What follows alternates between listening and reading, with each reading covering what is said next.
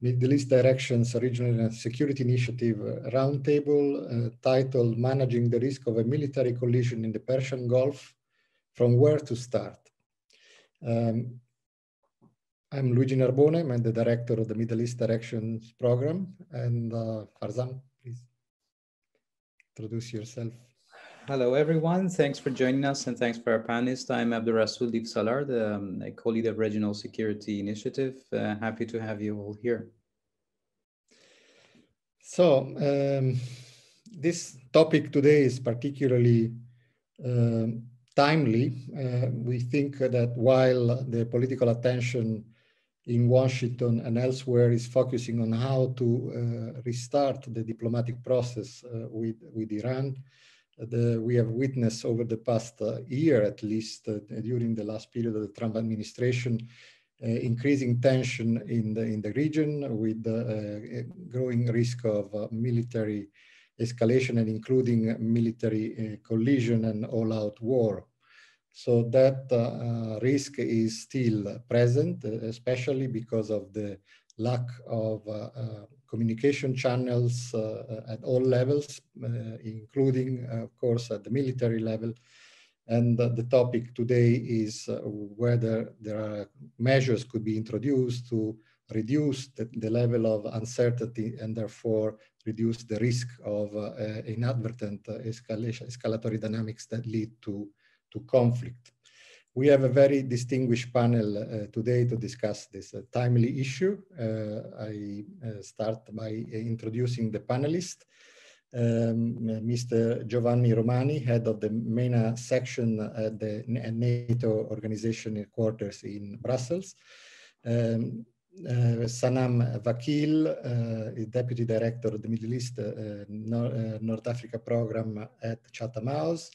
Massa Rui is a research, fellow for Iran and Turkey and the Levant at the Institute for National Strategic Studies at the National Defense in Industry uh, University, sorry.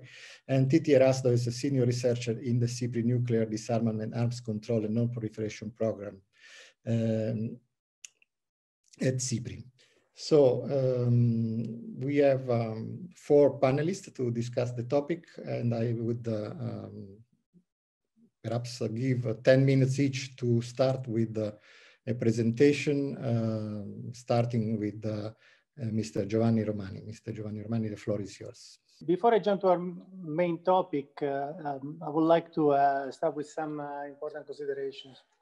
So NATO has a wide network of partners in the Middle East and North Africa, and actually I'm responsible for uh, maintaining this, uh, this network. And this, uh, uh, these networks are meant to bring together states that are facing common security challenges, uh, such as terrorism, proliferation of light weapons, and so on. And um, talking about the Gulf, which is the subject of today's uh, seminar, the, our partners are Iraq, where you probably know we have an important NATO mission, the NATO mission in Iraq, it's a non-combat training and capacity building mission conducted in full respect of uh, the Iraq so sovereignty and territorial integrity. The other partners are Kuwait, Bahrain, Qatar, and the UAE. these four are members of the so-called Istanbul Cooperation Initiative, which was launched uh, 16 years ago. NATO also has a more limited engagement with uh, uh, Saudi Arabia and Oman. Uh, they, for example, participate in activities and courses uh, we organize in, the, uh, in a center that we have in Kuwait, uh, the so-called NATO ICI Regional Center. Iran is not a NATO partner. And allies have different approaches vis-a-vis -vis Iran. and, um, and you probably know the NATO official policy is crafted by 30 allies and we have a mechanism of uh, consensus.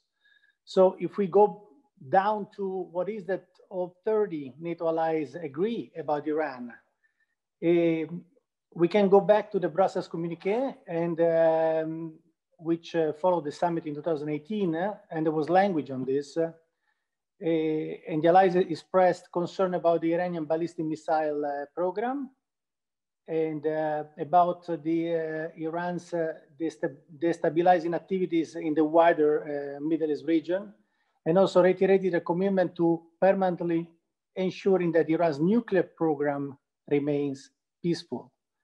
So this is 2018, but I believe this measure, this measure still stands today. And, um, and the most relevant point is uh, certainly uh, disarmament.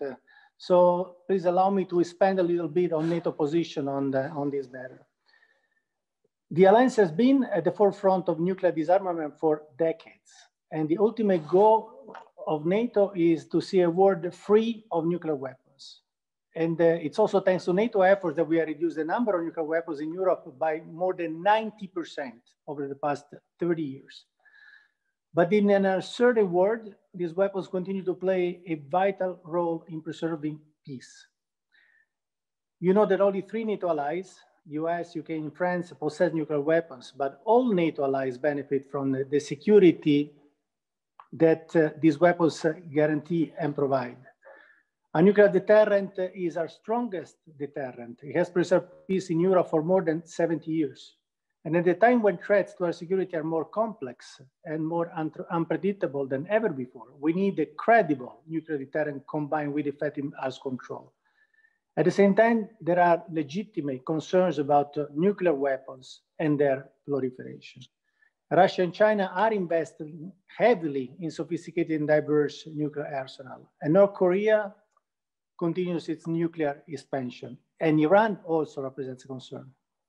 With this, the prospect for complete nuclear disarmament seems remote, but is not uh, less relevant. And we will continue to pursue nuclear arms control and disarmament as a matter of urgency. Yet we need to do this in a balanced, reciprocal, and verifiable way. So, and I will make three points about this. First, we must continue to invest in the tools that we have, the, the treaty that we have, like the Treaty on Non-Proliferation of Nuclear Weapons, the NPT. It's uh, 50 years old, uh, and uh, all NATO allies strongly support it uh, because it successfully limited the global spread of nuclear weapons uh, um, with the disposal over 50 years of tens of thousands of uh, nuclear weapons. It has also provided a framework for countries like Belarus, Kazakhstan, South Africa, Ukraine to abandon their nuclear programs. It has established a robust safeguard and verification regime, allowing non-nuclear weapon states to take advantage of peaceful uses of nuclear energy. But these matters requires sustained commitment and effort by everybody, and certainly by NATO. Some look at the treaty on the prohibition of nuclear weapons or the ban treaty as an alternative solution to eliminate all nuclear weapons. This is an idea that at first glance seems wonderful. But the reality is that it will not work as the ban treaty has no mechanism to ensure the balanced reduction of weapons and no mechanism for verification. Moreover, it hasn't been signed by any state that possess nuclear weapons. Simply giving up our deterrence uh, without any guarantee that others will do the same uh, is uh, a very dangerous option for NATO. A world where Russia, China, North Korea, and others have nuclear weapons uh, and NATO does not is not a safer world. It would leave us vulnerable to pressure and attack and it would undermine the security of the alliance. The second point I want to make, we need to preserve the bilateral arms control regime between the United States and Russia, which uh, still have by far the largest nuclear arsenals in the world. They hold uh, a special responsibility to lead the way in nuclear control and disarmament. When the first START treaty entered into force in 94, the US and Russia were limited to 6,000 deployed nuclear weapon, uh, warheads each. Now, with the new START, uh, we're down to 1,550 deployed strategic warheads each. For the US, consider this a drastic reduction from over 30,000 during the Cold War. Now, the future of New START is also at stake. It expires uh, the 5th of February in three days.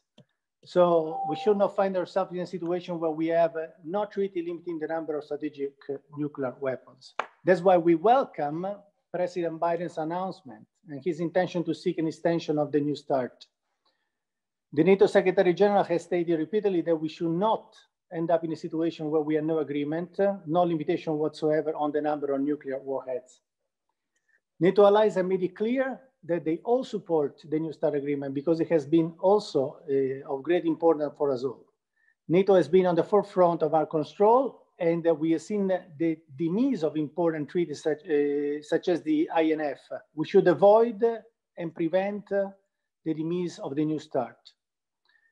The third point I want to make is that uh, the extension of the New START uh, is not uh, the end. It should be the beginning of renewed effort to strengthen international arms control, to look into how we can cover more weapon systems, also include more nations, for example, China. And verification is, of course, of great importance. In summary, we must develop a global nuclear arms control regime suited to, uh, to uh, the current multipolar world, a regime that takes uh, account of the rise of new powers and that allows for more uh, transparency and predictability, as the ambassador was referring to. Zooming back to US, uh, uh, Iran, um, we, we saw the recent appointment of Rob Malley, which we welcome as he's one of the architects of the JCPOA. And um, back in 2015. So it's a clear indication of the Biden administration appetite to renegotiate the deal. Iran has warned that President Biden's administration must act soon to revive the treaty, uh, but it refuses to scale back nuclear activity unless the US eases uh, former President Trump's sanctions. And I believe the murder of Fakhrizadeh might add to the complexity to reach a win-win agreement, but I think it will be in everyone's interest to get there. Let me add a thought on maritime security which was also in the theme of this seminar, uh, and the importance to ensure the freedom of navigation in the Gulf. Uh, several allies are engaged in this matter, but not NATO as such. Now, let, let me move uh, now to um, the, the subject I started with, which is NATO's partnership in the, um, in the region. The rationale behind our cooperation is that uh, transatlantic security cannot be divorced from security in the Middle East and North Africa, and a cooperation focusing on supporting our partners on capacity building and enhancing their resilience against security threats. It rests on two pillars of political dialogue and practical cooperation. Such cooperation has flourished over the years, and NATO has currently one permanent presence in Kuwait with the NATO uh, ICI Regional Center. Most recently, foreign ministers uh, of NATO agreed to step up our cooperation with our partners in the MENA region. We aim at improving the quality of, of uh, what we're doing so far, uh, increasing uh, mobile training teams uh, that, uh, that go, go to the region to deliver training, steering military cooperation jointly, and establish a much stronger partnership. Ministers also agreed in a different area, uh, which is the Sahel, the NATO should look into a potential engagement also in Sahel, based on the clear understanding of the situation on the ground. So basically, we do have uh, in Middle East and North Africa a partnership agreement in um, that goes from Mauritania to uh, Israel, Jordan, uh, and, and Egypt, and, and, the, and the North African countries, and another one in the Gulf. But in Sahel, for the moment, we were only present in Mauritania. So now there's, a, there's some thinking about doing more uh, in the broader Sahel region. So um, to, to, sum up, um, there are two points I would like uh, for you to retain from this chat. Uh, the first is that NATO is committed to doing its part on arms control, while, while maintaining its deterrence posture and, and NATO also want to wants to contribute to increasing transparency and predictability. The second point is uh, NATO's engagement in cooperative security uh, with its partners in the Gulf and elsewhere uh, in a mutually beneficial relationship to help both uh, NATO allies and partners uh, to be uh, safer. Thank you for your attention. Thank you, Mr. Romani, for this comprehensive overview on the prospect for arms control and uh, for the NATO and NATO partnerships uh, in enhancing also the security of partners uh, in, in the MENA region. I would now move to Sanam Vakil uh, to, uh, for, for a presentation. Please, Sanam. Thank you very much, Ambassador Narbone and to Farzam for this invitation. It's a pleasure to be here today. Um, looking forward to the discussion. Um, happy to share my, my uh, few thoughts on um, prospects and processes for de-escalation uh, between U.S. and Iran. Um, I see uh, the diplomatic pathway that is ahead of us um, as a very um, unique opportunity um, for de-escalation after uh, the past four-year period um, where we saw uh, the Trump administration obviously pursue a confrontational pathway um, and uh, impose maximum pressure uh, sanctions um, on the Islamic Republic. Um, this unique moment, I think, um, is one uh, where we see allies coming together uh, multilaterally to um, try uh, a new pathway or um, uh, perhaps um, address uh, regional challenges um, in a collaborative uh, manner. Um, and so what I um, intend to do is look at uh, the two processes that I see before the international community. The first being the the process um, of return to the JCPOA. Um, and then the secondary process um, that I um, expect uh, um, based on statements from um, uh, political uh, leaders in, in, many capitals around the world, the secondary process being um, uh, the uh, regional process um, that is necessary um, in order not uh, to strengthen and lengthen the, the nuclear agreement between Iran and the international community, but also ultimately to address the issue of conflict um, management um, and lack of regional security infrastructure architecture where regional states can independently manage um, and can contain um, uh, conflicts uh, among themselves.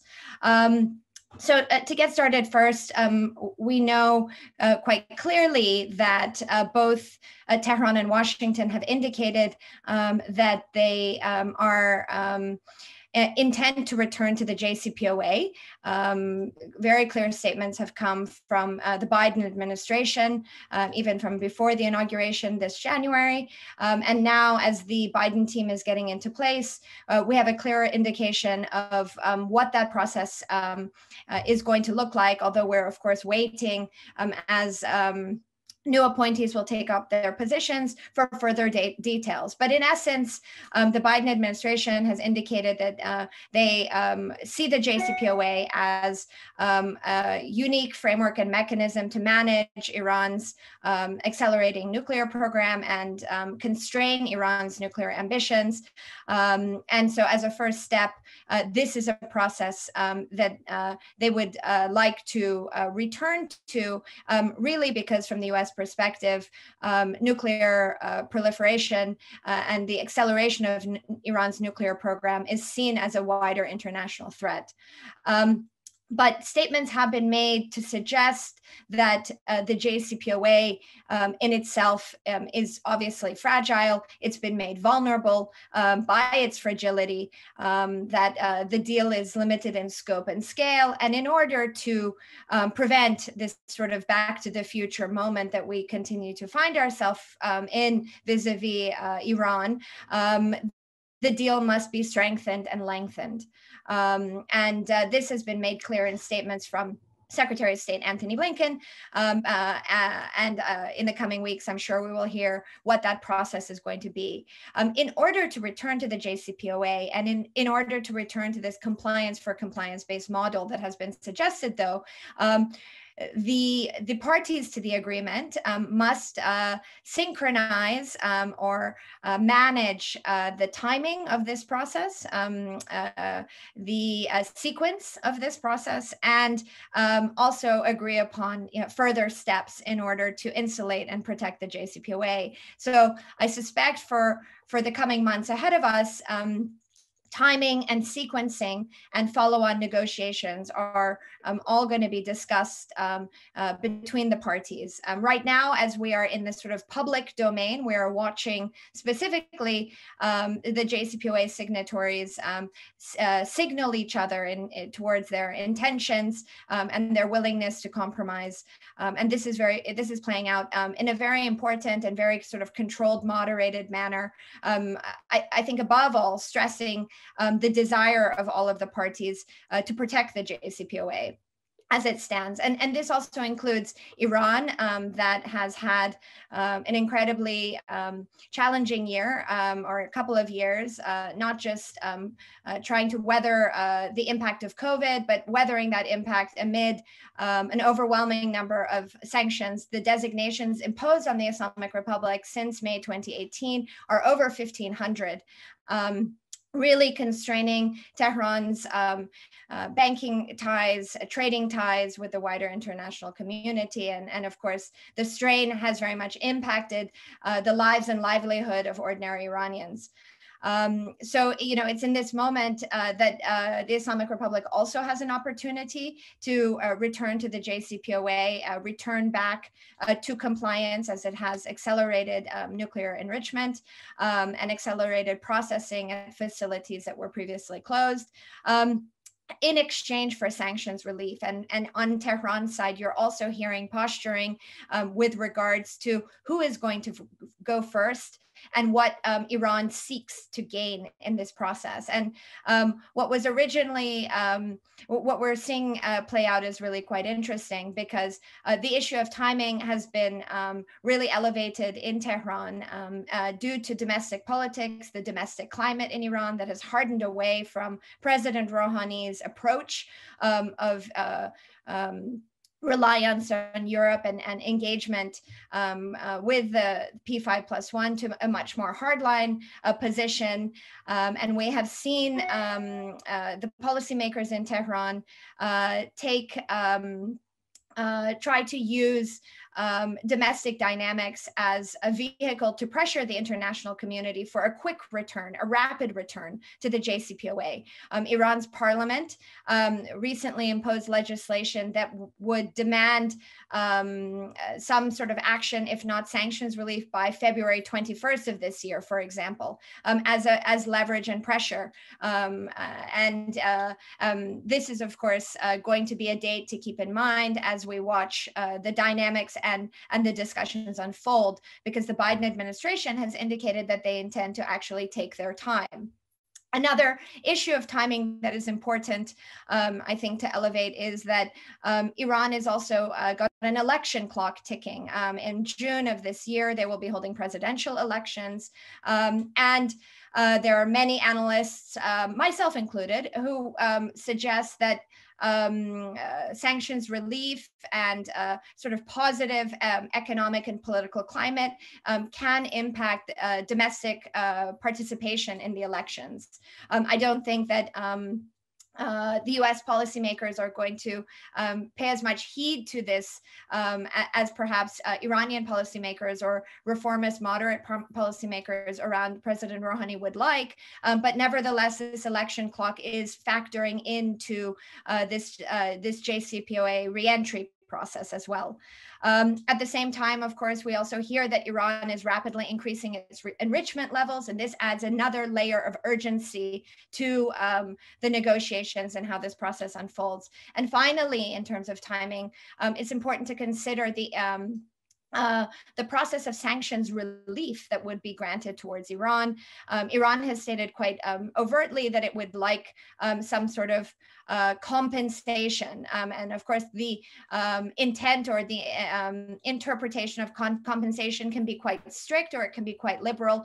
but sanctions relief and what that process, uh, how that process unfolds is also important because the US government will have to review the 1500 sanction designations that have been posed on Iran and decide which ones are nuclear related and which ones um, actually pertain to regional issues, terror related issues, and human rights related issues this in itself will require a negotiation um, of its own, uh, again, through the JCPOA uh, process, the dispute resolution mechanism. Um, I suspect this process is, of course, going to take many months um, and perhaps um, uh, is not going to sort of meet uh, a lot of the expectations and pressure um, to uh, see a quick reentry. Um, we are seeing signaling coming from Washington that they would prefer to take their time, consolidate their portfolios, work with members of Congress, as well as assure um, American partners in the Middle East that they don't intend uh, to return to the status quo of 2015 and actually intend to build a more sustainable JCPOA. Um, so uh, the, while this process is unfolding, um, I suspect a regional process um, is also um, uh, important uh, to lay out and discuss. Um, the sequencing of this regional process is also important um, because above all, um, regional actors that very much saw the JCPOA as a vehicle that enabled Iran's regional influence and regional interference beyond its borders would like to prevent uh, that same um, pathway from repeating itself. So you, you, we have seen very vocal um, opposition to a quick return to the JCPOA from countries like Israel, from the United Emir Arab Emirates and Saudi Arabia, uh, the three of which uh, would like uh, the Biden administration um, not only to take their time, but actually to use sanctions leverage um, in to pressure Iran to alter its regional behavior of supporting uh, proxy groups around the region, um, but also to make concessions um, with regards to its ballistic missile program. Um, thinking about these issues are almost more difficult than the JCPOA reentry process, quite frankly. Um, and this is an area where I am spending a lot of time uh, conducting research and focusing uh, my work right now. Um, this process um, really, uh, I see much more difficult to unlock um, because uh, regional states, I think, assume that they can uh, sit down um, and have this conversation with Iran and perhaps see the Islamic Republic make concessions um, in exchange for sanctions relief. And um, that in in in a region where there has been so much confrontation and tensions and sort of sedimenting of um, uh, enmity um, over a number of decades, um, it, it's very hard to see uh, compromises or concessions being made um, within this regard. So then, you know, how can we address regional issues if it can't be done through pressure um, and and through the incentives of sanctions relief? Um, in a in a report that I'm about to publish at Chatham House, um, we recommend that regional issues have to be broken apart um, broken apart uh, by addressing the JCPOA on the one hand, but at the same time regionalizing um, uh, the uh, the hot conflicts of the Middle East um, involving um, multilateral um, uh, actors um, that are involved in each of these conflicts, and through these discussions address the multiple and sort of interlayered, interlocked regional issues relating to Iran and relating to Iran's um, influence or interference in some of these countries alongside its proliferation of weapons um, inside these countries, but at the same time also addressing other countries' involvement in these countries. And by regionalizing these discussions, you sort of dial down um, the tensions and, and, and try to create a more level playing field among um, all of the actors. One area, of course, um, that analysts repeatedly point to is Yemen as being um, a, a, a, an area where there is perhaps greater um, greater will and opportunity um, to uh, bring actors together um, in such a process. But I think that beyond that, there are, are, also opportunities uh, to have multilateral discussions in in Syria and of course course, uh, with regards to Palestine as well. Um, a third layer that I, I see as really critical, and one where um, I think that uh, Europe um, has a, a, critical role to play, is in the confidence building um, measure space. Um, that uh, really, um, in my view, essential uh, to building back um, uh, decades of lost trust and um, uh, building sort of a level playing field of cooperation. Confidence building measures, um, as we know, uh, don't uh, necessarily require huge steps and don't necessarily have to require huge concessions, but they can be seen at small, um, small uh, sort of low, low levels um, on issues of uh, religious tourism in the climate of COVID, obviously health diplomacy. Um, and I think over time, with greater trust and investment um, on bigger issues like maritime security, um, sort of these are issues that impact all of the regional states um, quite um, equally. Uh, so trying to facilitate and manage these dialogues and these multiple tracks, um, I, I, think would uh, be sort of a vehicle uh, to building trust, building confidence, and ultimately thinking about conflict stabilization and management um, in the region. Um, ultimately, uh, if you look at the Middle East, most of the states, uh, particularly those around the Persian Gulf, um, very much face a lot of the similar security, environmental, uh, and domestic challenges. Um, they also, um, all of them, um, for better or worse, engage in um, similar destabilizing activity of supporting proxy groups, developing indigenous defense programs, if not, of course, uh, this uh, potential um, pattern of nuclear programs um, that uh, is of growing concern. There is a detention of nationals, dual nationals, that we have seen um, also escalate um, regionally. Of course, Iran um, plays a particularly um, strong role and, and, and, a negative role in, in detaining nationals and dual nationals. So um, leveling the playing field and, and trying to address um, regional, regionally address uh, some of these challenging issues is sort of my view on um, the way forward to de-escalate um, and, and, manage these tensions. Obviously for the international community, this requires a, a massive investment.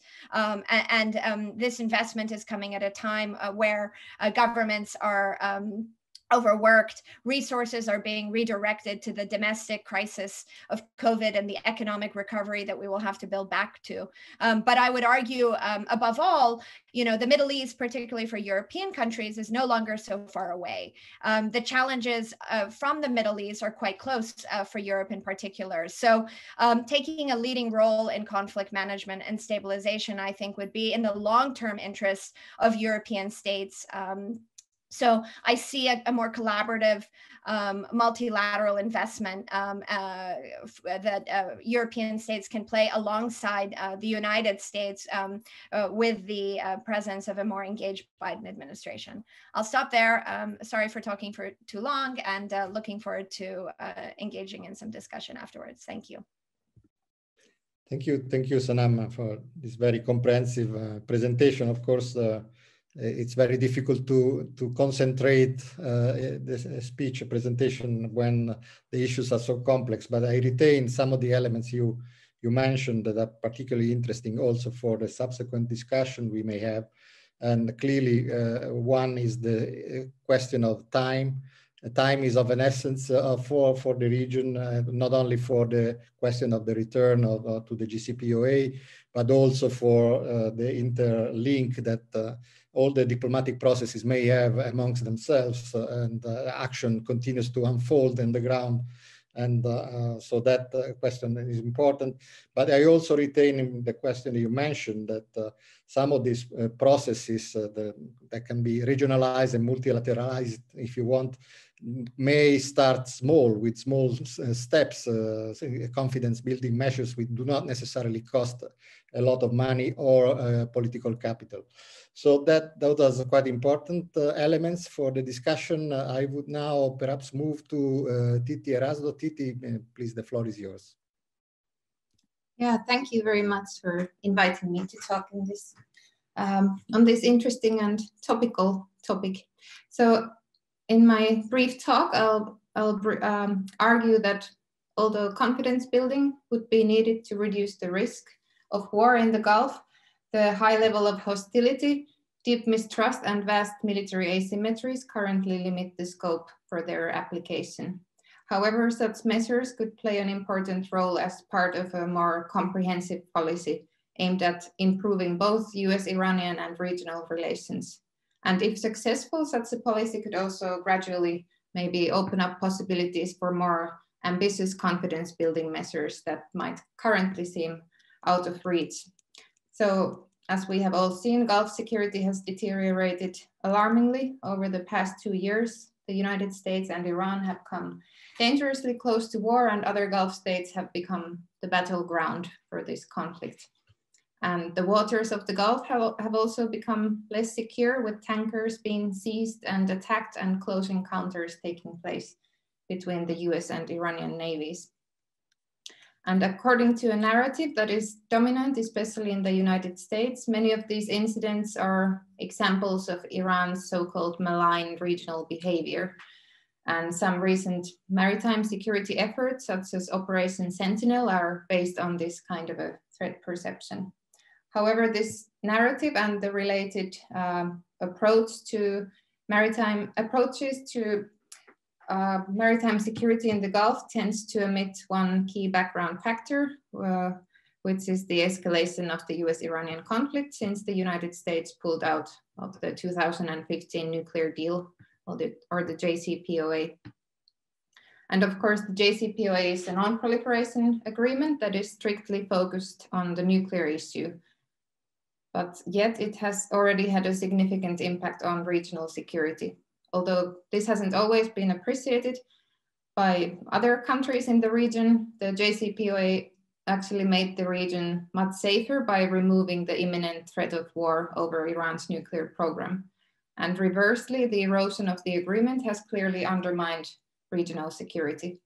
And these uh, more recent problems really began when the United States reimposed, reimposed the oil and banking sanctions in late 2018, and especially after it revoked the remaining waivers on Iranian oil exports uh, the following May. Since then, Iran has basically been prevented from doing any kind of trade, or at least paying for, um, I mean, at least for using um, the international financial channels. And initially, Iran threatened to respond to this maximum pressure policy by closing the Strait of Hormuz. And anticipating such self-inflicted escalation, the Trump administration increased its military presence in the region, uh, actually right after revoking the oil waivers. As it turned out, however, Iran opted for a more asymmetrical response, targeting other countries' oil trade and shipments through the Gulf. Um, and compared to overt war, this presented a risky but still less risky way for Iran to signal that the maximum pressure policy had a price. So the fact that the US withdrawal from the nuclear deal was justified in terms of regional security was just among the many paradoxes of the Trump administration's policies because instead security in the region has clearly worsened. But of course now with the change of the US administration, there's a chance to undo some of the damage that has been done in the past four years, which brings me to the question of military confidence building measures that is the focus of this panel. And I think military confidence building would definitely be needed to reduce the risk of unintentional escalation.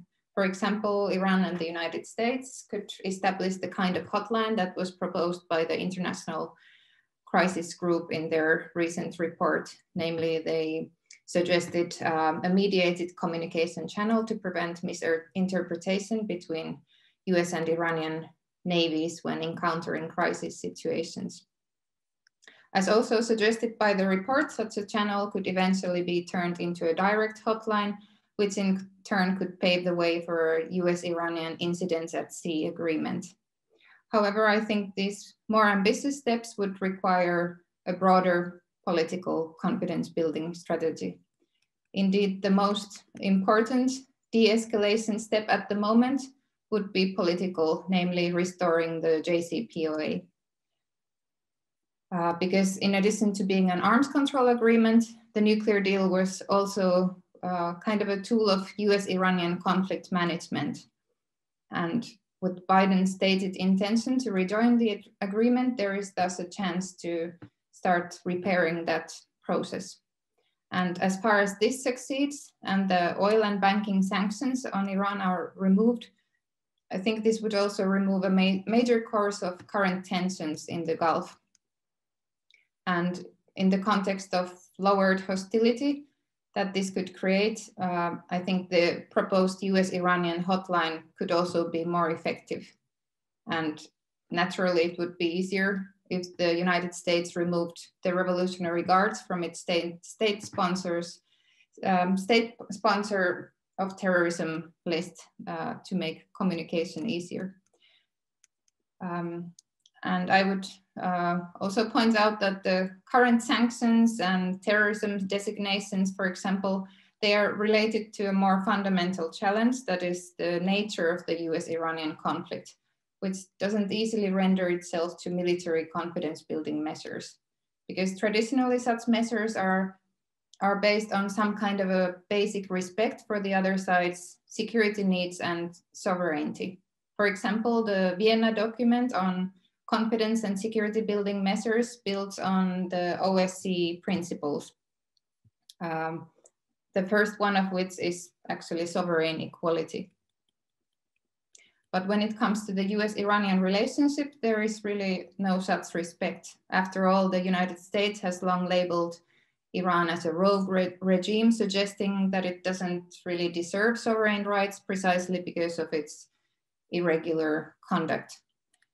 Um, and given this starting point of hostility and distrust, um, I guess it's obvious that um, any ambitious Vienna-style confidence and security building measures like meet meetings of military officials or visits to each other's military facilities are uh, quite unthinkable, at least in the near future, and at least um, on bilateral basis.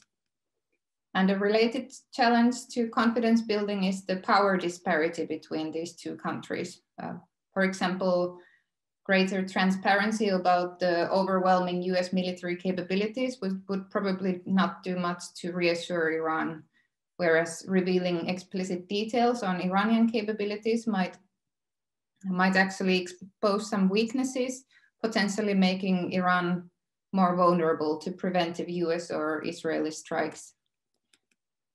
Um, and uh, confidence security building uh, confidence building measures also tend to assume some sort of military symmetry. For example, the Vienna document was accompanied, accompanied in Europe by the Treaty on Conventional Armed Forces, or the CFE Treaty, which sought to establish a balance of conventional forces in the continent. But again, in the Middle Eastern context, um, it's very far from balanced.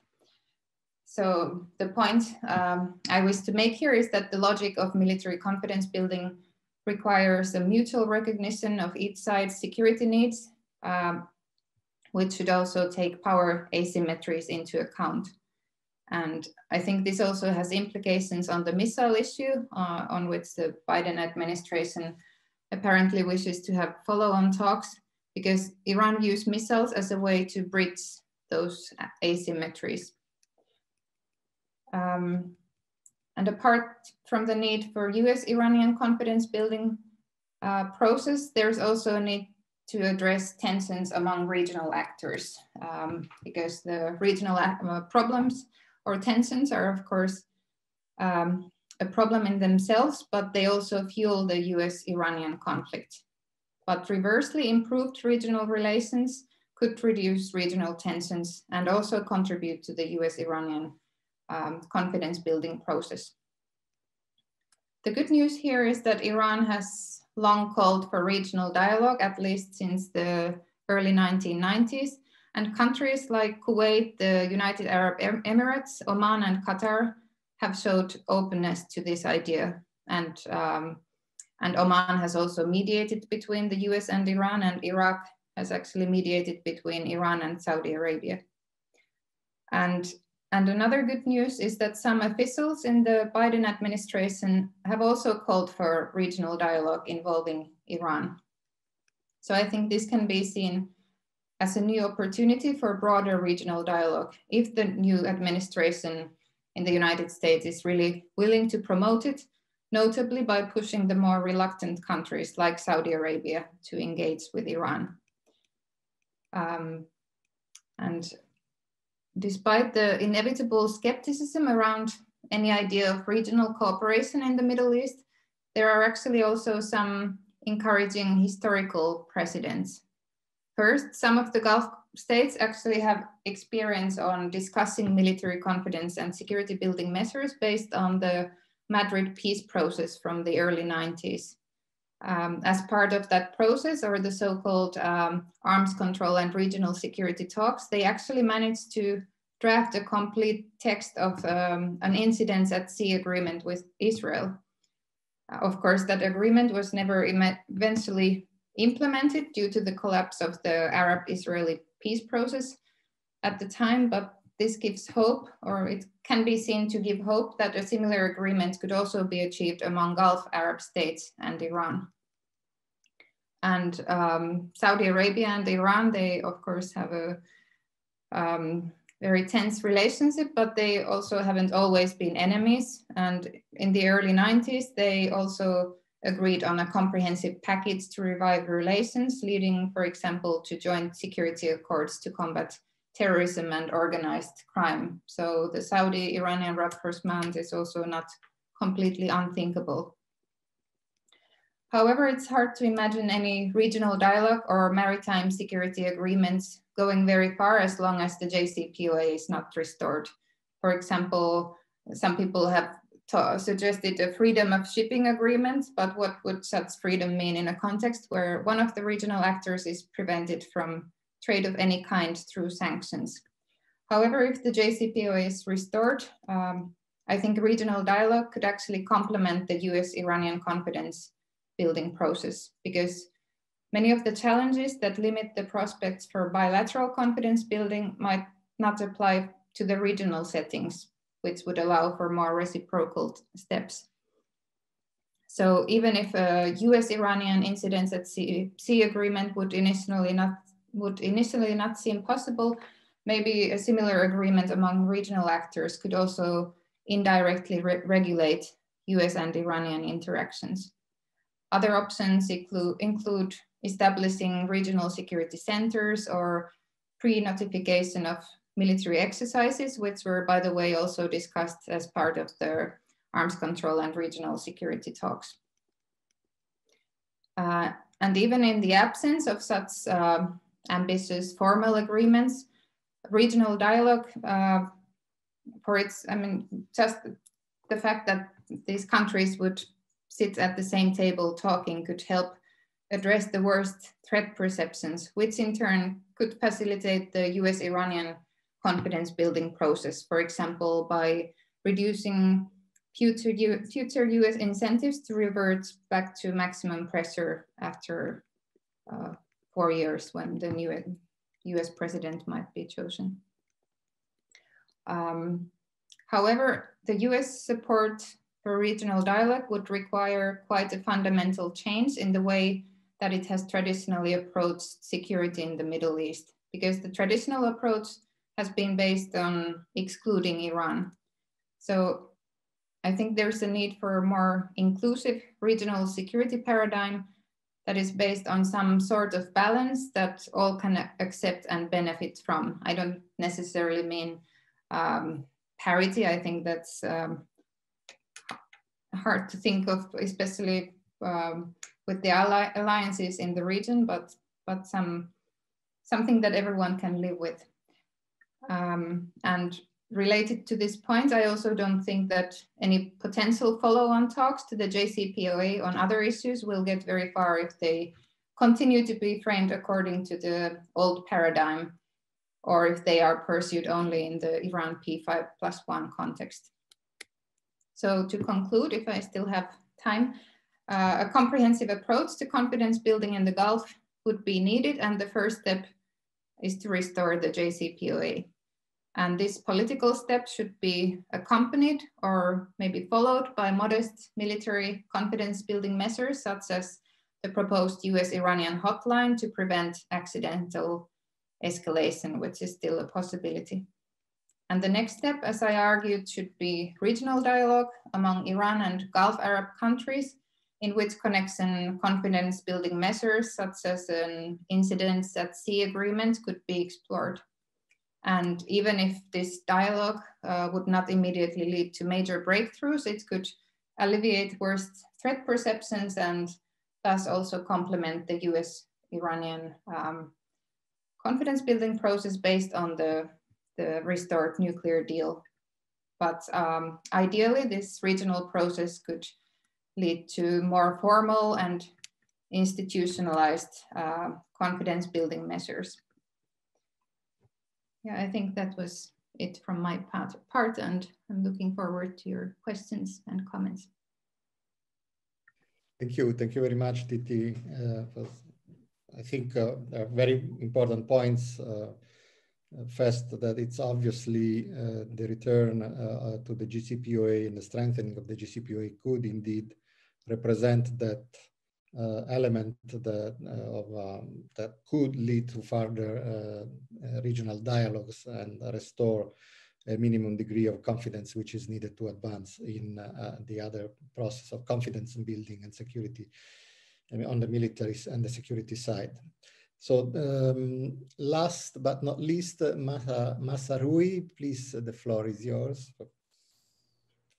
Thank you. Thank you so much for organizing this panel on this very important and timely topic. And it's really a pleasure to be part of um, uh, this panel to discuss these issues. I have to give a disclaimer that um, everything that I present today is my personal views and based on my personal research and does not represent necessarily the views of uh, US government, Department of Defense or the National Defense University. Um, I tried to sort of scratch some of my notes as, as um, other, you know, as Tytti, Sanam, and, and Giovanni, uh, you know, presented a lot of great points uh, about the context of the issue and, and, and the ways forward. So I'm just going to focus on a, on a few things uh, to allow also some time for uh, more time for, for discussion and Q&A to get into more details. I agree with the colleagues on, on this sort of two-step process. And I think uh, from the statements that we are hearing uh, in, in the US uh, and even back in Tehran, there is this understanding that there has to be a two-step process. Um, and I'll get into sort of some details on that. And I really like what uh, Giovanni mentioned about the new start, that we shouldn't look at it as a, as a, we should look at it as a beginning and, and not an end. And I think it, this is exactly the concept that applies as we are discussing the JCPOA versus other um, issues in the region, that we should really think of the JCPOA as a beginning of a, of a very long process. Um, and I want to even emphasize that, um, you know, as, as we talk about we, you know, the JCPOA and then other issues in a sort of more long-term concept, you know, uh, context, whether regional or missile, et cetera, even the nuclear issue itself, even if we just think of the JCPOA and the nuclear negotiations with Iran, we should really still see the JCPOA as a beginning because it's it's a long process. It was viewed as to be a very long process to sort of normalize Iran's nuclear program over you know many years and, and ensure its uh, peaceful nature. Um, and this is important because a lot of the sort of expectations in the aftermath or the criticism of the JCPOA um, expected sort of an immediate change in Iran's, you know, policies in all realms and Iran's strategy. And this is just not how arms controls work. And if you look at other arms control agreements and, and the history of things, there are clear indications that these are processes, they take long, they, they're not gonna be over a month, things yes, you will see slow, you know, incremental results, but then, you know, these processes will, will take a very long time um, to, to come into play and then to be sort of uh, more concrete and to establish that kind, kind of con confidence building or, or, trust building measures. Um, one quick point on sort of that I, I, will I will mention about sort of the JCPOA and the and the swift return uh, and then I'll move on to mostly the, the, the regional issues. And that's, um, I agree with Sanam about the, the, the, the ticking clock. And uh, Iran is sort of this February 21st deadline that Sanam mentioned. It's a, there's a lot of, you know, building up of leverage and pressure. In fact, I'm sort of writing now about this issue of leverage. And um, the, the really, the, in reality, the timeline is not until um, Iranian elections. It's only if you know potentially a few weeks, sometime in March, because if if if history is any indication, and we look back at Khatami administration uh, and the transition to a sort of more hardline President Ahmadinejad, I, and and at the same time uh, that I'm talking about, President Rouhani was the head of the nuclear negotiating team. So if there is no prospect of reviving the JCPOA, it is very likely that the Rouhani government will need to take more drastic measures itself before leaving uh, so that it does not seem um, it, as, a, as a show of strength to its sort of uh, political, oppos- you know, it, it, its uh, political hot, uh, opposition, the hardliners in Iran. So I personally believe they will not just wait until the election without, uh, you know, taking this a step further.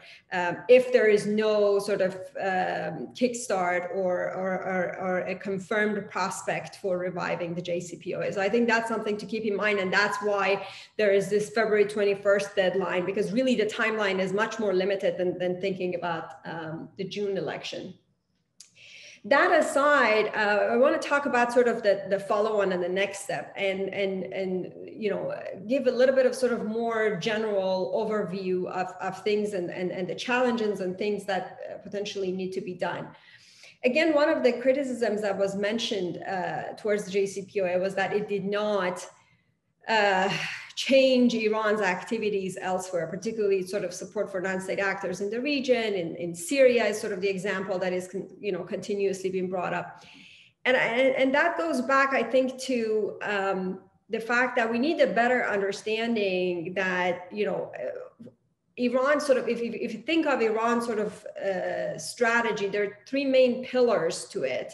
And that's, you know, I'm going to just try to sort of very briefly mention, but the nuclear, the missiles, and the regional, uh, you know, uh, activities or network, its network of influence are really the three pillars. And you cannot expect um, that they will let go of all three at the same time uh, and make concessions on all three at the same time. it, it is just for, for any country that's sort of an unrealistic expectation. And as I've said it elsewhere, it's sort of it, it's basically requesting surrender. And you can only do so if you have defeated uh, a, a, country in a war, uh, not in negotiations. So it's really important, uh, and, and, and, and it ignores the fact that the drivers for each of these pillars while they're very intertwined, they could be very different. So, for instance, a, a, nuclear agreement is not the driver behind Iran's policy in Syria. The, the activity, the, the, the dynamic situation of the conflict in Syria is what drives Iran's policy in Syria. And so I, I think that becomes in, in when, when it's simplified a lot of times in the media and in, in policy discussions, people tend to ignore that there are several um, levels to this whole sort of to, to, Iran's policy, and that has to be considered. And obviously, they're not going to because they made an agreement on a nuclear issue, they're not going to suddenly change all of their policies on, on other areas. And that gets to the point of, uh, as you know, they have always stated, and, and Tytti also mentioned, um, the best way to address those areas is in a regional context. And another reason why it's important to do so in a, in a, in a, in a, in a regional context um, and I think actually uh, the, the new national security advisor, Jake Sullivan, has also uh, mentioned this, uh, stated this, that these have to be sort of a more inclusive uh, regional context where, where we resolve these issues with Iran, is that the priorities of the P5 plus one in terms of what activities are concerning about Iran is very different from of, the, of, of those of Saudi Arabia's or Israel's or, or, UAE. And so the type of, you know, the, the, the way US prioritizes, obviously non-proliferation is on top of the US agenda. Whereas if you talk to um, people in, in, in, Riyadh, uh, or, or, or, from UAE, they are more concerned about Iran's missiles and, and short range missiles versus again for Europe and US, the long range missiles are, are more of a concern. And so this is just an example to say that the priorities are very different. And so the, the context that these issues need to be discussed should be very different. Um, it's something that again I'm, I'm I've been working on for a long time through the the the the, the, the track two and track one and a half that I organized, but more so in, in a project that I'm now working with a colleague. Uh, Robert Danon, which we just put out a piece about this idea of, you know, yes, there are so many different challenges in this context, but it's not the first time in, in the history of international relations that we're dealing with a situation like this and it is complex. There are competing interests, there, uh, there, there conflicting interests. Um, but we can still not apply a European model because obviously every region and every time has its own setup. But we could learn lessons from how, for instance, the European uh, or the Helsinki process worked and what can we learn from those processes or other arms control agreements that worked successfully in the past and try to help sort of present um, a forum which we are sort of proposing a, middle east forum. And you know again while it, it should be sort of it, it should be all inclusive um, and yes there is the reason why these uh, you know uh, regional uh, dialogues are not all inclusive is the, is the concern about the spoiler effect. But really there is no way to make progress if uh, unless there is an inclusive um, uh, you know forum.